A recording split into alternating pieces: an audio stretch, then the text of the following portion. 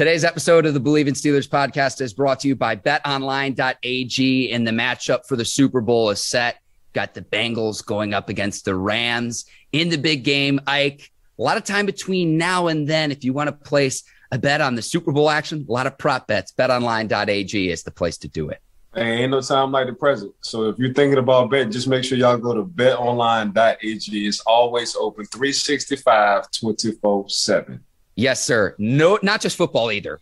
Basketball, hockey, boxing, UFC. BetOnline.ag has the best anything you want to wager on, the fastest and easiest way to wager on all your favorite sports and play your favorite games. Bet online where the game starts. All right, cue the music. It's time to start the show.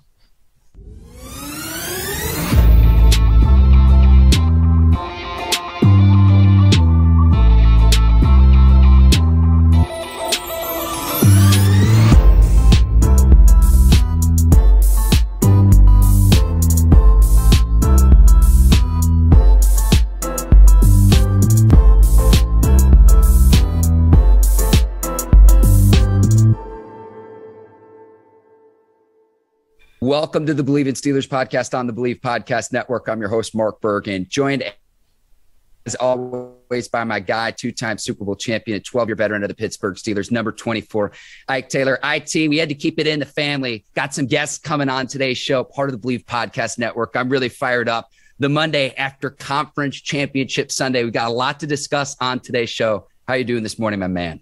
I'm good, Mark, man. I hit one. I lost one. I went to betonline.ag. So I'm all good so far.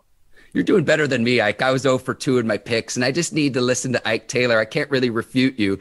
During the game, we were texting some. It was like, listen, I always joke around how you're a psychic. I think you might be a time traveler of how forward you thinking you are with your picks and how you can foresee what's going to happen before it does. But before I get too carried away, I want to welcome in our special guests from the Bleav in Seahawks podcast, Lofa Tatupu and Brett Davern. Fellas, loaded championship Sunday. We're going to start with the NFC championship game. I was hoping that that would be the first game we saw. That was the back half, but Rams are heading to the Super Bowl after beating the 49ers. Uh, Lofa, we'll start with you. Just what was your big takeaway from Sunday's game?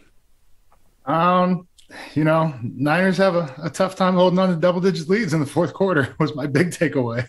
And, uh, you know, it's tough. Uh, they the Rams did do what they needed to get done, and even more so, uh, you know, I'm a man of my word, and you know, Brett was he was saying Stafford is the missing piece all along, and I was like, nah, bullshit.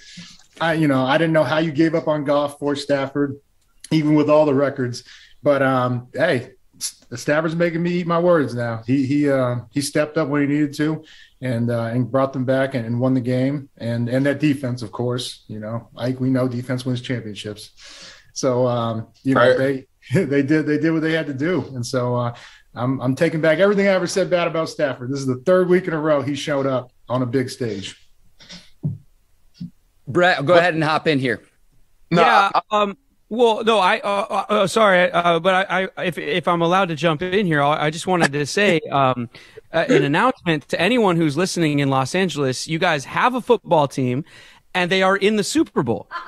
So get excited about that. Um, nobody here in LA even realizes that there's a football team. I'm not kidding, guys. Um, all of the kids here in LA love the Rams. Kids are obsessed with the Rams. All of their parents, they're from somewhere else and root for some other football team. So it's a weird time to be in LA, but you know, hey, credits to the Rams. They're going to the big game. I thought it'd be the Niners. It's the Rams. Um, and we'll see how many actual Rams fans show up to the game. Cause it was, it was a lot of Niners there. A lot of Niner fans there. I copped in. Brett, Brett is unbelievable right now.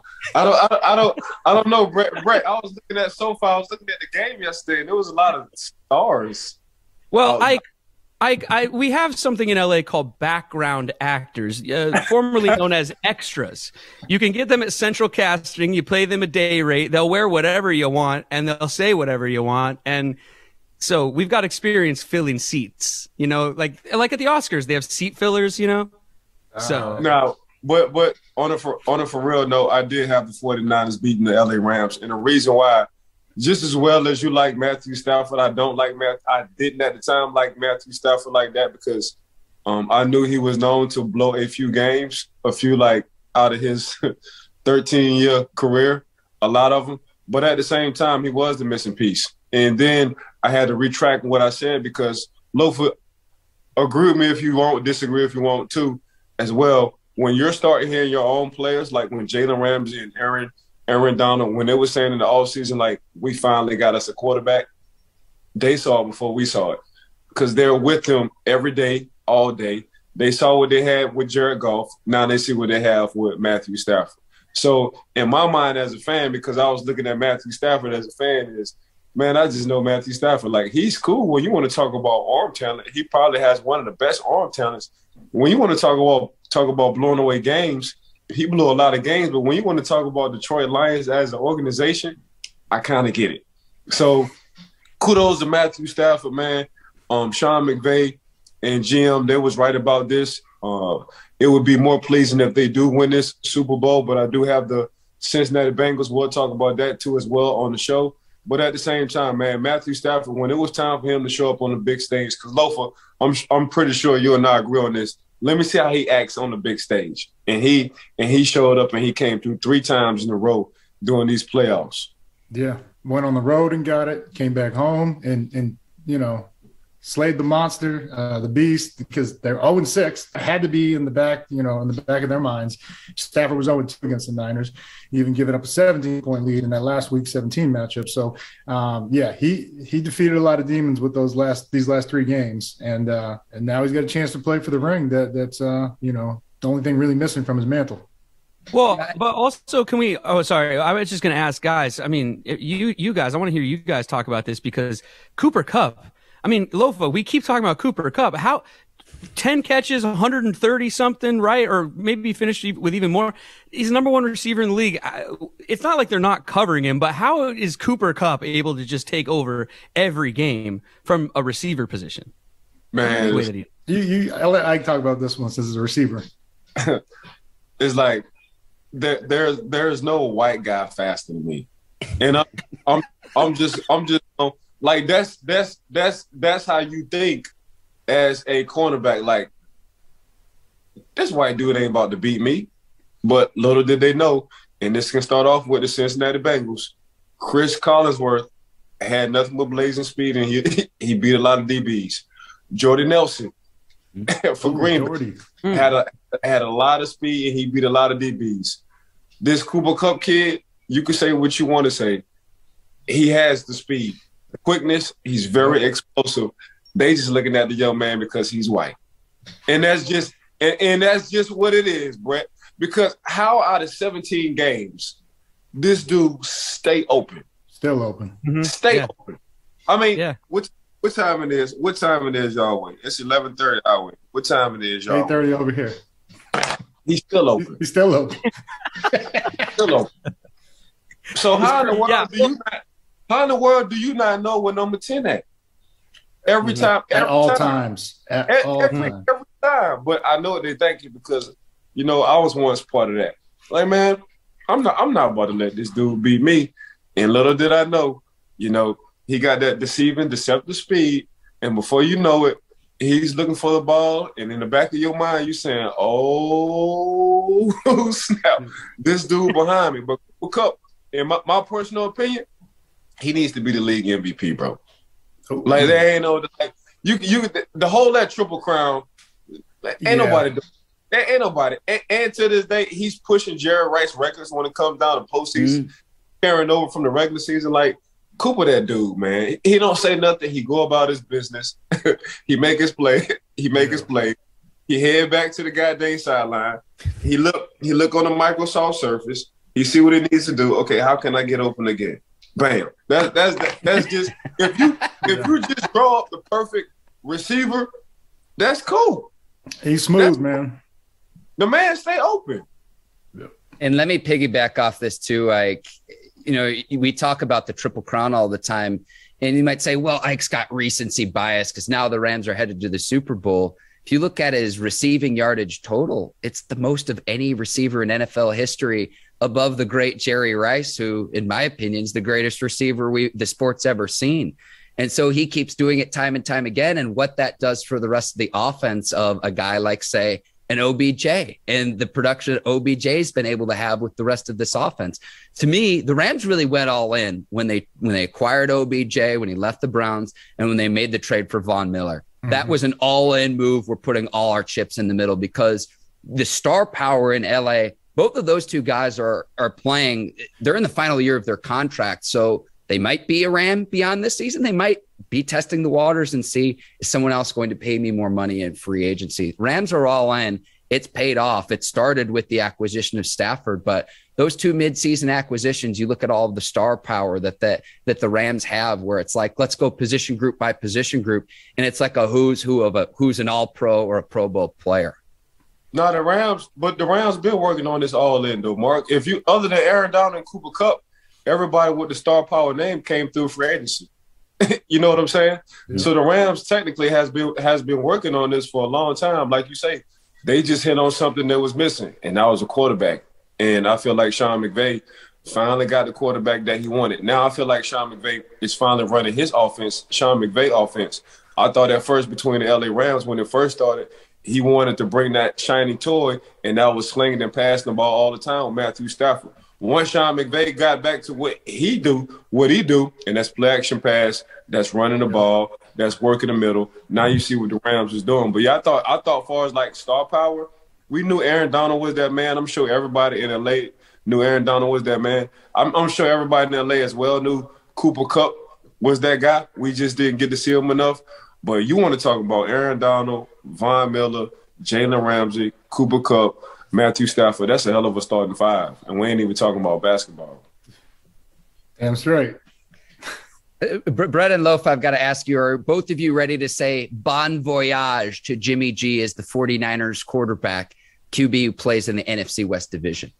I hope not, because I don't want to play him for several more years. But yeah, I mean, you drafted a young guy in Trey Lance. I mean, you know, the writing's on the wall. And then just the way they they were winning in spite of Jimmy G, you know, unfortunately, and and the fact they, they they're ready to move on, and I, I don't know who it's going to be, but I mean, it could be a guy by the name of Aaron Rodgers who's from the Bay, and uh, you could see him heading back up there, but um, yeah, unfortunately for them, you know, I mean, just look at the way the game ended last night. It was like man, just take the sack. Like they don't have much, they don't have any timeouts left or whatever. The clock rolls down, you go to overtime, but just you couldn't even get the ball out of bounds, tipped off his unfortunately tipped off the running back's hands right into the DB's hands.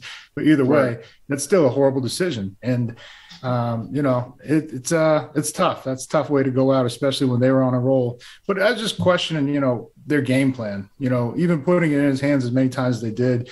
Uh, go back to their first matchup and they ran the ball like 45 or 46 times just with all these creative gap trap schemes powers counters fake toss you know and it was it was incredible it was one of the most masterful coaching jobs i've ever seen by kyle shanahan who was he was down injury wise with some guys and they took it to the rams and i think by going away from that game plan even in week 17 they fell down early you know but they didn't completely abandon the run they got back in and they won that in overtime and then now to, I mean, it came down to quarterback play, as we've we've been saying. Right. Jimmy right. G just he doesn't look like he's that dude. With he got weapons. Deebo Samuel is my favorite player to watch right now, which is crazy because I'm a defensive guy. I was he plays like a defensive guy.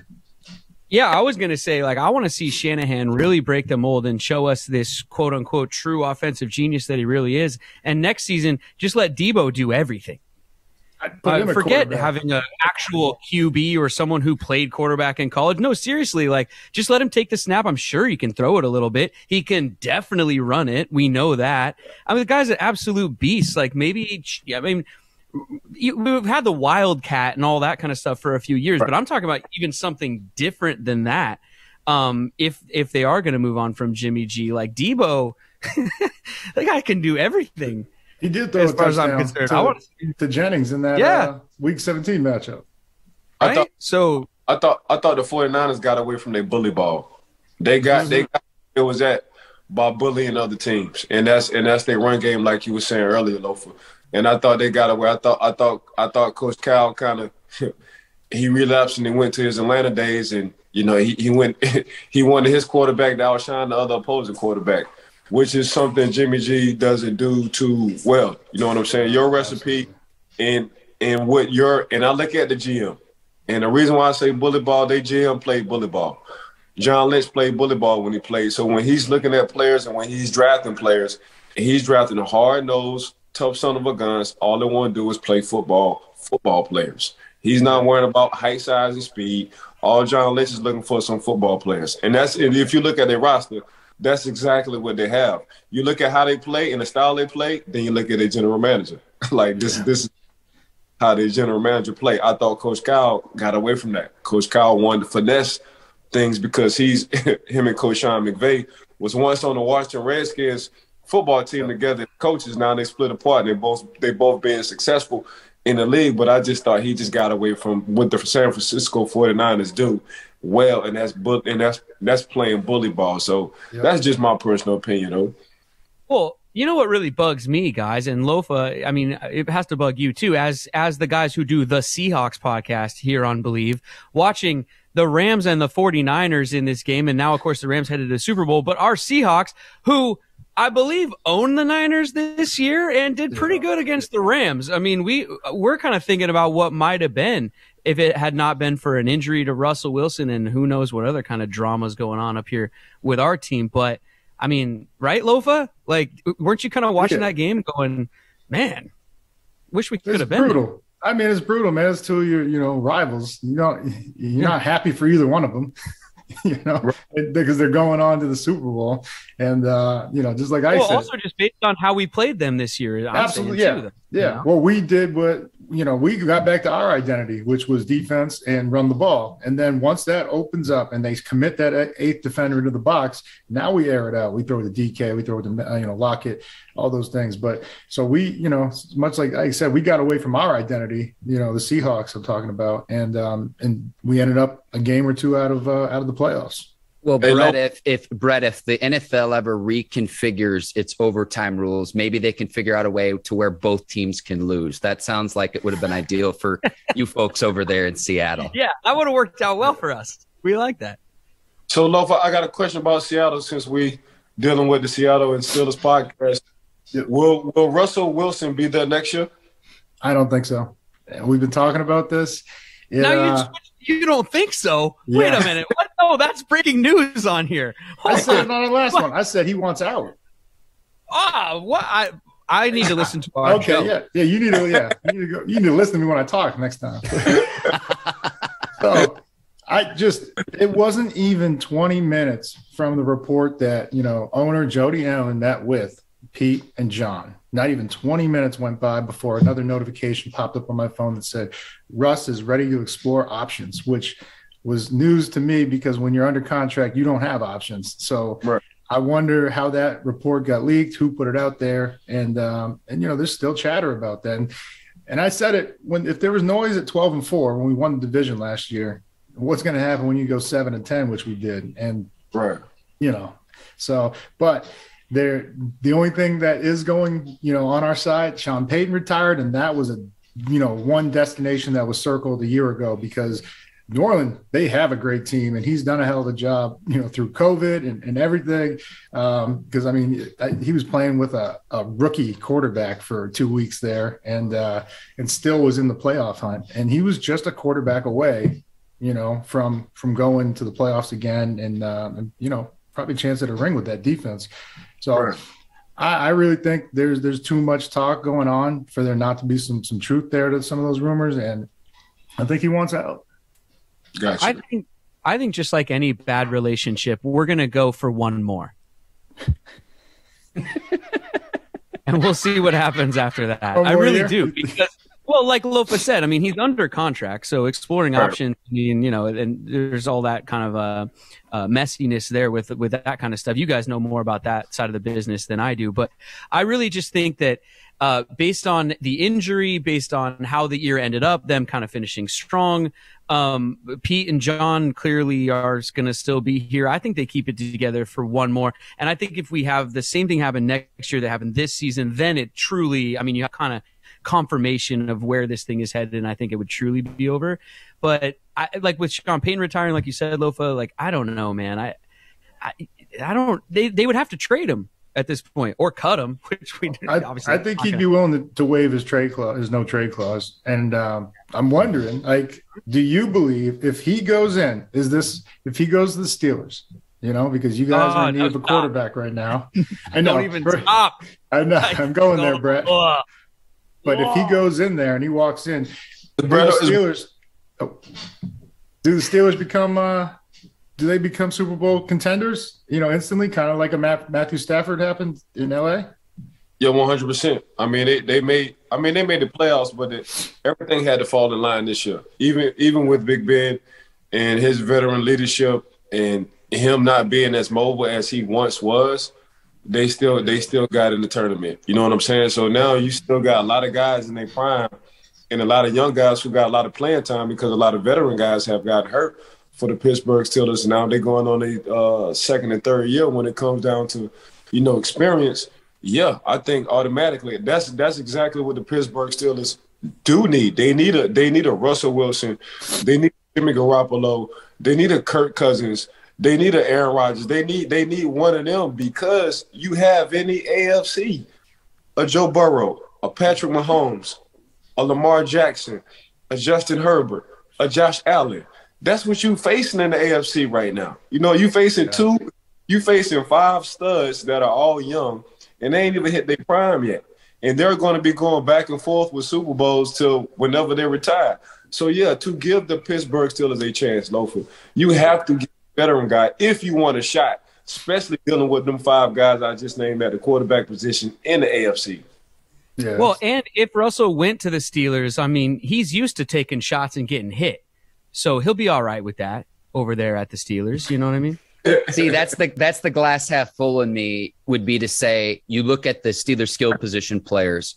Juju Smith Schuster is like the elder statesman, and he's 25 years old. Now, I don't expect him to be back in a Steelers uniform. We'll see how that plays out. He's due to become a free agent. But you do have a lot of youth at your skill position players, the Najee Harrises of the world, the Diontae Johnsons of the world, two Pro Bowl alternates who will now play because the Bengals are in the Super Bowl, might I add. Uh, Pat Freiermuth had a really good rookie season for the Steelers. Uh, hopefully, Chase Claypool can continue to improve. But you have a lot of youth at your skill position players. Brett, you- you're stealing my thunder a little bit here because I you've heard me say this many times on our show before. Steelers ranked near the bottom of the league with salary cap allocation along the offensive line at about $12 million for the 2021 season. You get what you pay for in life, and that's near the bottom of the league, if not dead last. So part of that is you're starting two rookies on the offensive line Dan Moore Jr. at left tackle, Kendrick Green at the center position, Kevin Dotson, a second year player at the left guard position. They'll get better Right. with experience, but you've got to spend some capital, maybe a free agency, maybe a trade, maybe in the draft to upgrading that offensive line to replace players like a Maurkice Pouncey, David DeCastro, all pro players when they were, you know, Sure. doing their thing for the Steelers. Uh, you know, a, a team that's known for running the football. So again, kind of glass Well, half full. I've got skill But- but- position but- but- talent. Glass Well, half and empty would Russell's be let's get a better Ru- offensive line. Russ isn't escaping like he used to either. Let's be honest about it. I mean, Well, he's not well, Russ- Big Ben well, level Russell- status of. He's not going to sit like a statue in the pocket either, like Seven was doing. Yeah. is Saying. So if you, we're, we're, we're, we're, we're not talking, we're not talking about the Cincinnati Bengals offensive line. The fact that hmm. Joe Burrow can move. I- If you listen and if you watch Yeah. it, the fact that the man got sacked nine times in the Tennessee Titans game, nine times, hmm nine Fi- times. In 51 in the regular season too, Ike. yeah. So my point exactly. Yep. Yeah, when you do have offensive line, you you do need a quarterback who can somewhat be mobile. And Yeah. Russell Wilson, when it comes down to mobility, he's way more mobile than seven at, at his time. So True. Well, we're all more mobile than Ben at this point. But Russell, the thing is, though, Ike, I got to tell you, like, Brett, I'm gonna let you talk about my quarterback like that. I can only talk about my quarterback. I'm not gonna let you talk about my quarterback like that. look, gone are the days when he's able to scramble around and then leave the ball on the one yard line, Ike, with his Okay. head across the goal line. You know, those are those days are gone. That was Super Bowl forty. All right. But talk about Russell though for a second, Russell is not the, that quarterback though that he was in those first few years when he's scrambling around making those sort of backyard football plays. Every once in a while, one will crop up and you'll see it on Sports Center. But for a lot of the game, and Lofa, we talked about this all season, like he is not escaping the way that he used to. He not like I'm not going to say he lost a step or whatever, but the guy gets hit Right. a lot. Yeah. He's had Yeah. injuries, not just the injury this year, but he's played through injuries, ankle injuries, knee injuries. He had one against the Miami Dolphins like four or five years uh, ago. Of course, like, of Brett, Brett, he's gonna be I'm saying, injured. If y'all- if y'all making but defensive he's linemen, not, offensive he's linemen, not. if y'all making I'm linebackers, saying- offensive linemen, y'all If you're wide receivers, offensive linemen. I, Of course, I, all I'm saying is, dang it. Oh I, shit! all I'm saying is, is if you're bringing in Russell Wilson because you think he can escape, he's just not that dude like he used to be. That's He, all I'm saying. he he still is that dude. He just seldom uses it, man. He doesn't he doesn't use it. Uh, I don't know. Hey, I don't- hey, Brett, bro, y'all, y'all, they putting me, me at left guard. They putting Loaf at right. they put, they put, they put, they putting you at center, and they put Mark at the other right tackle. Man, of course the man gonna get beat up. He gonna get hurt. That's Yeah. exactly what's going over there. And Well, that's what I'm track. saying. He's he's he wants help here in Seattle on the offensive line. So going to Pittsburgh, I'm not really sure how that would help him. I for from a Seahawk fan perspective, It- that would be a way better upgrade. That as Ru- you know what? I'm gonna ask you. That's right. I'm gonna ask you. Do you think it'll be a better upgrade if Russ is in uh in, in Pittsburgh? For Russ's sake, for Russ's sake, for Russ's sake. well, I mean they they have to figure out what to do with Duane Brown. Oh, who's obviously getting older and you know at the end of his contract and all that. So they got to figure that out. But I mean, maybe question mark? Oh, no, honestly, I mean he Russell Wilson is still taking the most sacks in the league, isn't he? Or, or t- towards the Oh, top of the list. Why? Why? And- why? Why? Well, why? offense has a lot to do with it, but you watch the games. He does not spin out like he used to. And I think that, uh, speaking of Big Ben, he's a lot bigger than he ever has been in his career and stuff like that. But this is all beside the point. I wanted to say, or it is exactly the point. But anyway, the point is, is that I want to move on because what I wanted to say is, is that, and we've talked about it on our show.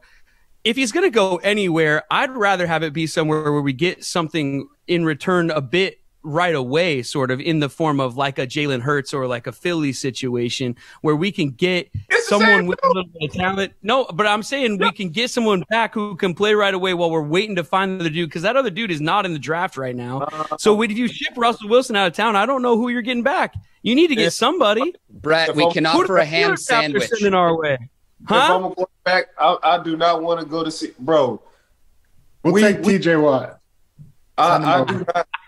I do not go to Seattle. If if I'm hell, not how y'all draft for y'all offensive lineman. Really, y'all don't even draft for offensive line. You know what? No. I'm gonna go to Starbucks and I'm gonna get the the biggest dude I see come in and I'm put him on the offense. That's exactly what y'all do in Seattle. Hell no. If I'm a quarterback, I do not want to go there. At least Mhm. Pittsburgh draft offensive lineman. Brett, at least we Mhm. draft offensive lineman. Hang on, But hang I- on, hang I on. I got agree. I got a few things to clarify here, Ike. So the Seahawks' first pick in the 2022 draft will come in the second round with the 41st overall pick. So if you're looking to get offensive line help in the draft, it's not going to come till the second round at the earliest. The Steelers have not drafted an offensive lineman in the first or the second round in the draft for the last nine drafts. David DeCastro was the last Steelers Oh, offensive lineman drafted in either the first or the second round. I've got to clarify that. Otherwise, our listeners and viewers will have a a field day in the comment section, Ike. And that's exactly what we want them to have. We want them to have the field day. That's exactly what Yeah. we want. It's spelled Brett, B R E T T. Get it right. That's So hang on, wild, Brett, man. can we Nine years. Yeah, yeah. and I, I found that surprising too, because you think of Steelers football, you think of running the ball. In Yeah. 2020, they finished dead last in the league in rushing. Okay, Right. that's why we go on and draft Najee Harris in the first round. It's a bit improved, but that's really the only improvement the Steelers offense made in the 2021 season. Brett, Wait, I wanted to ask wait, you. hold hold we- hold. Wait, wait, wait. I just want to make one more point. One more point. Because you're talking about what the Steelers have and why Russell should go there. But let me say why he should stay in Seattle because we still have a lot of talent here. I mean, DK, Tyler Lockett, you got a bunch of offensive pieces. Rashaad Penny finished up the season strong. We don't know what's going to happen there. And a defense that was coming on towards the end of the year, right, Lofa? I mean, there's plenty to stay for here in Seattle. Huh? got uh, one more year here, and we're not going to be able to pay him, bro. All right. So, so, but, but what's so then your point, Lopez? We're just packing it in. Let's just blow the whole thing up. And I, I mean, hey, no, I mean, build a defense, get some O linemen. You know, I think that's you know showing a very successful way to win Super Bowls. That's what we had when we won the Super Bowl in Correct. thirteen. That's Correct. what we yeah. we had Marshawn Lynch and a defense. And yeah, Russell was a second year guy. Awesome. And it seemed like we went from running the ball, and this is, you know, I very much very similar to Steelers. I mean, uh, you just mentioned having drafted an O lineman in nine years, and it's like you're going spread empty all of a sudden instead of when you were a power running team. And Correct. it's just like a, like almost uh, evolving or changing a philosophy and identity that, that we've talked about and getting away from what has consistently been the blueprint to get to the Super Bowl, a run game. And even when we met back in 05, it, both could run the ball and both had defense, and that's that's the truth. And you know, and so that that that's what it takes, man. I know quarterbacks well, get, just, get a lot of money, they get a lot of talk, a lot of the fame, but end of the day, running the ball, only one guy can say consistently he got the shit fucking done. Tom Brady. Well, all right, that's the only I, guy I, that can we, say, "Hey, quarterback's important." I'm not going to listen to anybody else that tells me quarterback's that important look, we obviously got to step it up, but I mean, one pretty bad season with a big injury in the middle of it. I'm just not necessarily ready to jump completely off the ship. And also, let's remember also uh, that Tom is now out of the way in the NFC for Russell. I mean, you got Aaron Rodgers still, but we'll see what happens with that. Mm-hmm. So with Tom now gone, it does crack open a little bit of a window. So I'm not really sure if he wants to jump over to the AFC where, like Ike pointed out, I mean, they're kind of rich with quarterback talent right now. No, deep over there, man. Yeah.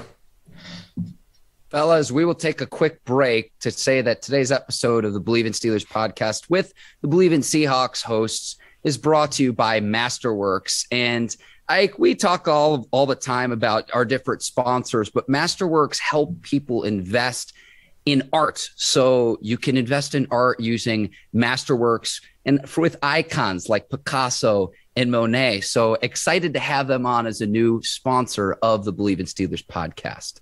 Man, I'm I'm so happy because I need to talk to Masterworks to see if they're gonna see if Pittsburgh, if they can Picasso and see if Pittsburgh can draw up or get back to the art of running the football and drafting offense rounds. Your ad reads are the absolute best. So for our viewers and listeners, if you go to masterworks.com slash bleav, that's on your screen right now. If you're watching this stream, masterworks.art slash bleav, that's B L E A V. See important disclosures at masterworks dot, excuse me, dot art slash bleav B L E A V. Excited to have them on as a new sponsor. Uh, fellas, we'll go to the AFC Championship where the Bengals are headed to the Super Bowl after an 18 point comeback victory against the Kansas City Chiefs on the road at Arrowhead Stadium. Chiefs led this game 21 to 3.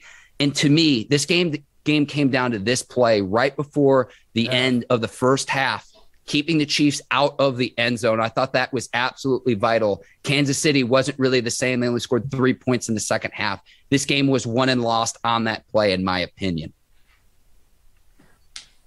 Who wants to oh, I'm jumping in. If, yeah, if you guys ahead. leave that big of a pause, I'm jumping in, man. That that, that play was absolutely ridiculous. I, yeah. I first of all, I called for uh, smoking Joe Burrow La- on last week's episode. I picked the Bengals boldly and confidently. I knew they were going to win this. I knew that the whole time. And that play right before half, I I swear, I turned to Mrs. Davern and I said, "There it is. The Bengals are going to win." Because you could just see it. I mean, the, the Chiefs, they needed to score there.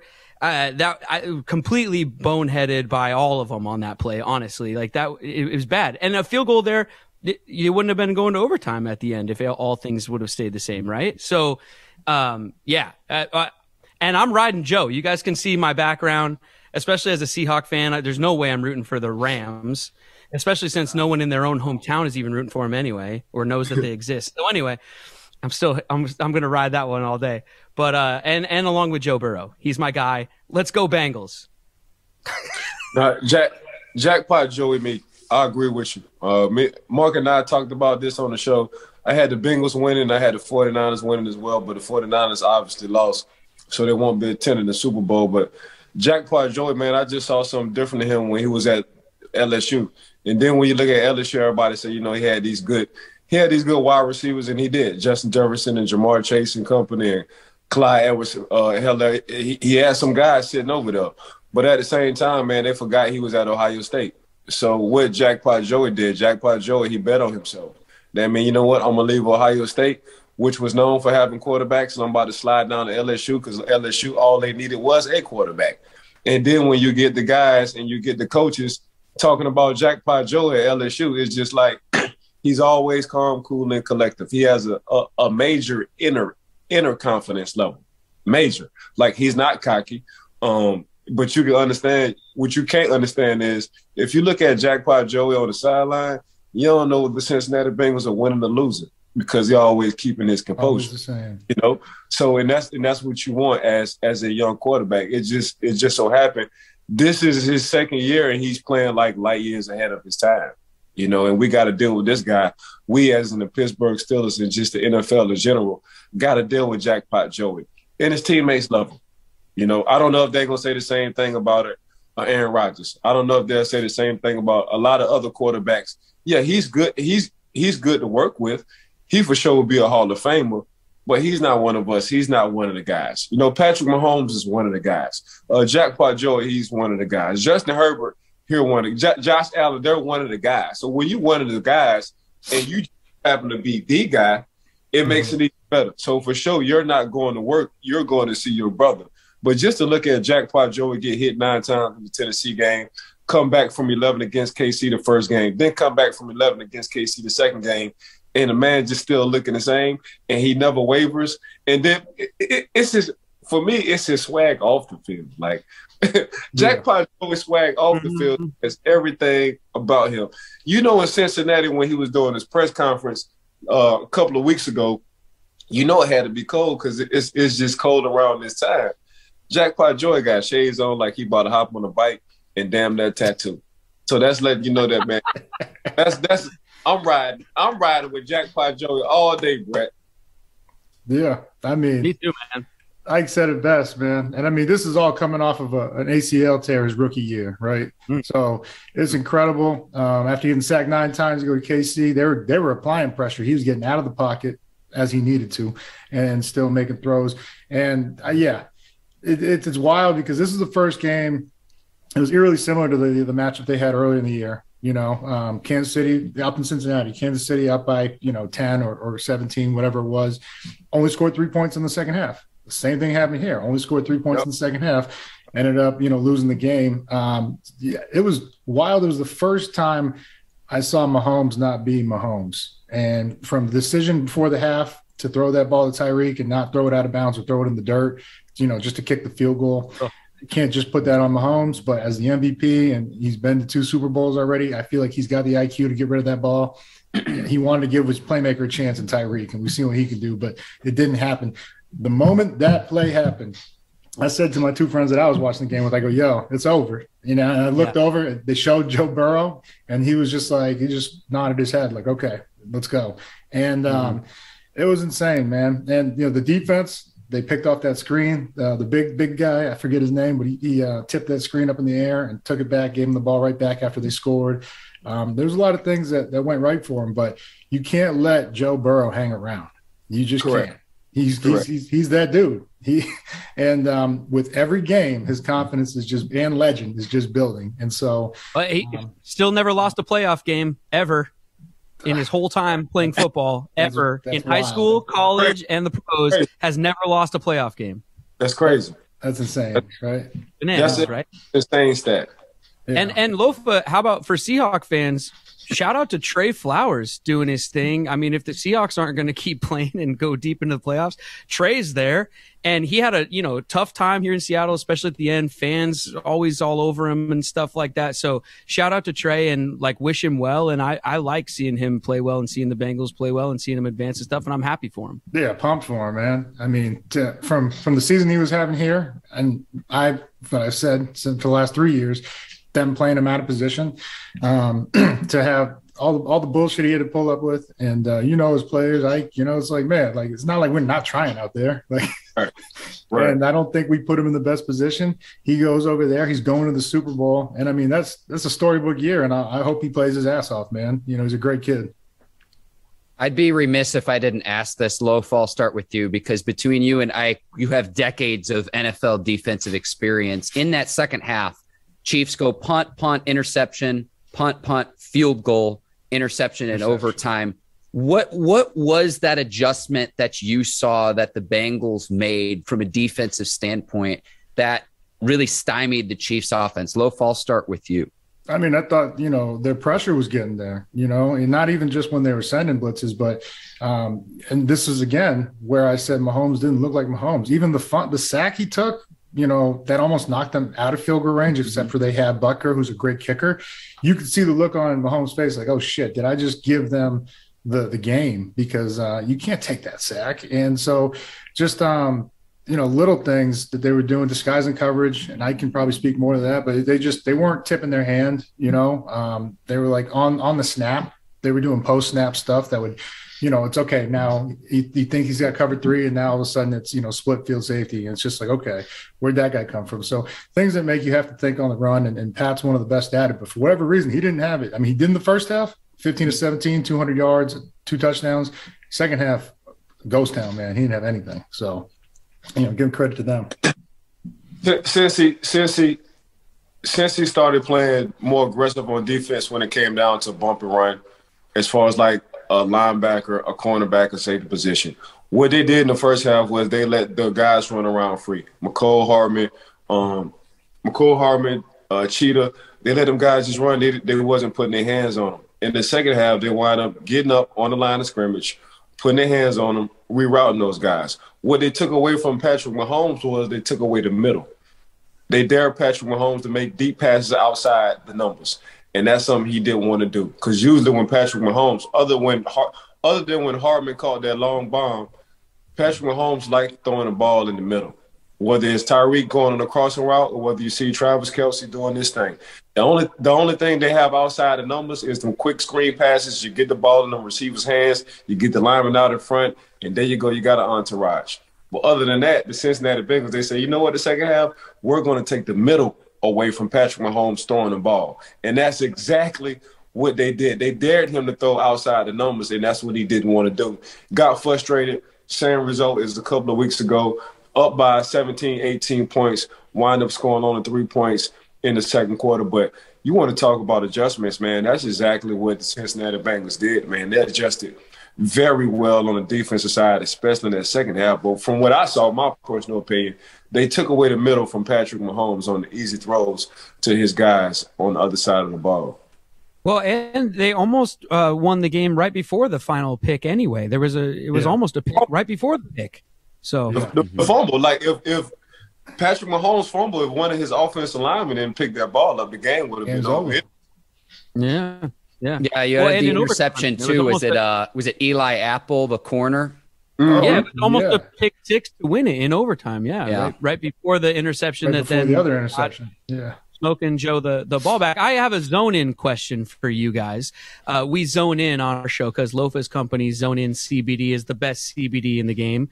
ZoneInCBD.com and use our promo code Bleav spelled our way. Or sorry, that's Lofa's line. Lofa, the promo code is Bleav. B L E A V. didn't mean to take the line from you. Uh, you get 20% off. The zone in question, guys, um, I don't, this is off the top of my head, but uh, is smoking cool again? all these guys what are, we, are, what are we, what are we after all these wins. Wait, I'm just saying, like, everybody's smoking cigars now after these wins, and all Oh, the commentators and all the. TV coverage is like, "Oh, he's gonna be smoking," and everyone's like, "We love the smoking now and stuff." Yeah. Smoking's Ike is in his glory right now. Ike, the floor is yours. You're talking my talk because I got my own cigars. Are you a cigar guy, Ike? Yeah, so when you hey next time y'all just go to Howard G uh howardgcigars.com. Make sure y'all get y'all a one of a kind because my cigar is one of a kind. Matter of fact, it's been rated number 89 out of 100 in Cigar Snob, the newcomer of the year. That's my cigar. So uh, yeah, after we get on. off this, after I do my 5.3 mile run, I will go to Corona, which is a cigar bar. I will light me a one of a kind cigar. So yeah, cigar smoking is cool. Just like if you need to zone in CBD.com and use your promo code, that's cool as well. So there you have it. When you're zoning in Yeah. or whether you're smoking a one of a kind cigar, by the end of the day, once you get done with it, you're gonna be feeling good and happy. That's it, man. I got to talk to my producer here. You hear Ike's afternoon? I got six more podcasts to do today. what? Man. I might have something a little bit piggy- different in my cigar up here in the Pacific Northwest, but you know, it's still it's still all love. hey, hey, every every every region has its own way of being happy. There we go. Mm-hmm. Love it. I have the tall task of trying to come after Ike's masterpiece there.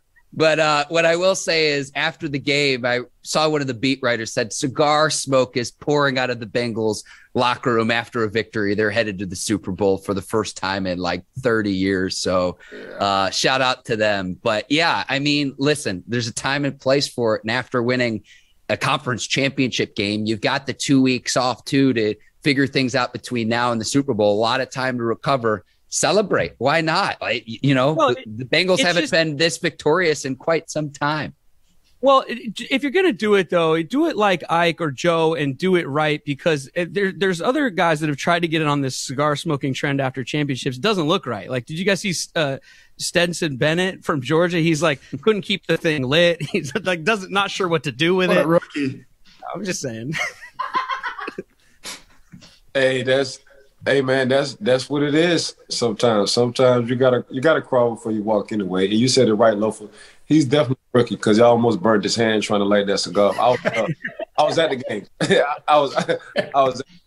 So I, I I did I did see that rep, but you know if you got if if anybody anybody it, first of all shout out to betonline.ag one shout out to zoneincbd.com two shout out to one of a kind cigars three. Four shout out to the Bleav in Steelers Bleav in Seattle podcast five. Six shout out to Bleav in family podcast. Boom. Oh man, it's starting to sound like the Super Bowl halftime show with all these shout outs. you got that you got that right. They're paying us. Before we sign off here, fellas, I got to go across the board. Brett, I'll start with you. We're in universal agreement that the NFL overtime rules are uh, th- they're all good after Sunday's result. Yeah. I- hey, I don't have a problem with the overtime rules. Play some fucking defense. All these guys bitching about. And special teams. We And all- special teams. Yeah, yeah it, play some Tell 'em fucking you- defense. Tell them how you feel, Lo. I you agree. know, it's part of the game. But you know, you can cry. Oh, we didn't get a fair chance. Oh, we didn't get the ball. Go play defense. Yeah, it does. It does sound like uh, kind of like the weakest kid in the neighborhood sometimes after overtime. Yeah. Like I didn't get it to have the ball. Well, then go take it back, or or call the other thing in the coin flip. I don't know. What do you want Yeah. from me? I mean, A little whiny. yeah, like like you said, the Bengals, man, they went and kicked off, you know, NFL MVP, and they went down and they they finished the game. So, yeah, I hope that put it to rest. I do so- like how it, you can't just win it with a field goal though, right off the bat. I like that they changed that part of it years Correct. ago. That seemed right to me, but I mean- I'm kind of fine with it. Play special No, teams. I'm- yeah, I'm- I'm- yeah, I'm cool with it, but we gotta start giving the Cincinnati Bengals defense their props. I'm Mhm. yeah, We're, for, we're not talking about them enough yeah. to, to to hold Patrick twice. They held Patrick Mahomes twice to little to nothing. You know what I'm saying? Three points, yeah, twice in, In two the- in- games in, in, this, in, Sec- four in the second quarters. half. In the, in the second half. And I That's- mean, you know, shutting down even Derrick Henry was coming off injury, but to go into Tennessee, You know, after after winning a home game, you know, you might you thought they might have taken a breath and been like, oh, but no, they went over to Tennessee, beat the number one seed on their on their you know soil, and you know, so I man, they're dangerous right now. They are dangerous. They're looking like the old. They're looking like the 05 Pittsburgh Steelers. I didn't want to fucking say it. I didn't want to fucking say it, but yeah, they are. All right, we can end on that well, note. Shit. Hopefully, hopefully, hopefully they win the game on the field though, and they don't leave it up to the guys in the striped shirts. Hopefully for this team, they win the game on the field. Oh my god, that's a wrap. Lofa and Brett, it's been a lot of fun. Uh, do you guys want to plug your show at all or your to. social media pages at all before signing off here? I don't even think Brett heard you. No, we good, man. Oh, was, wait, no, it, it, Zoom messed up. I'm sorry, guys. I all good. It. I was I was just want to give you the opportunity of how you know people can listen to or watch your show, the Bleav in Seahawks podcast.